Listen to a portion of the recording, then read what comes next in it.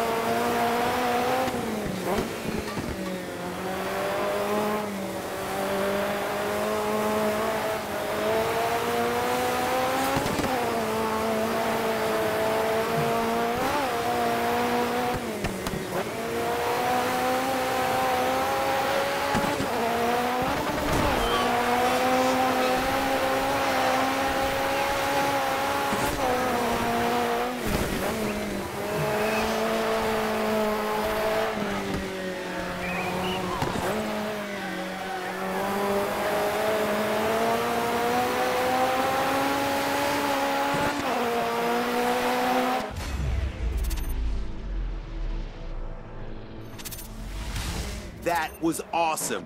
You gotta show that to the world. Put it on YouTube.